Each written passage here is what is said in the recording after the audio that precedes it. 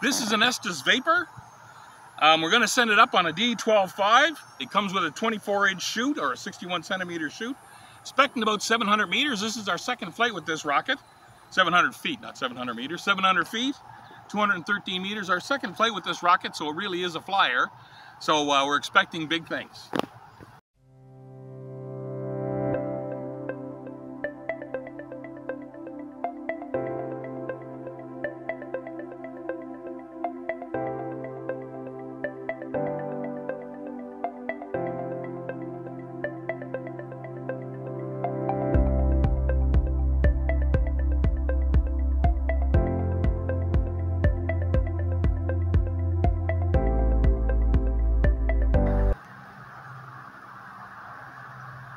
We have a live box.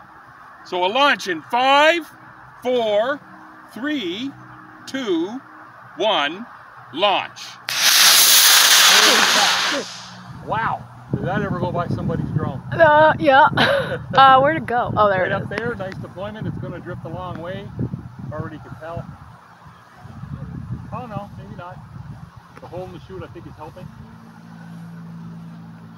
Sorry, I think I swore.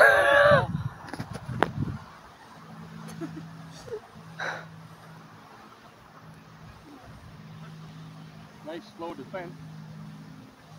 With oh, a little bit of a breeze, we come back this way. we cut the hole in the parachute, so Yeah, it really did help a lot, didn't it?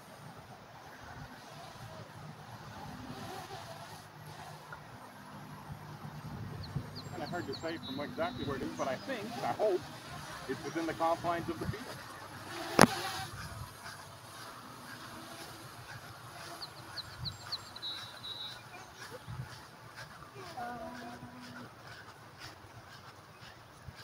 Might have been in that person's backyard. We have a live box, so launch in five, four, three, two, one, launch. Wow, did that ever go by somebody's drone? right up there, nice deployment. It's going to drift a long way. Already can tell. Oh no, maybe not. Hold the chute, I think it's helping. Hard to tell.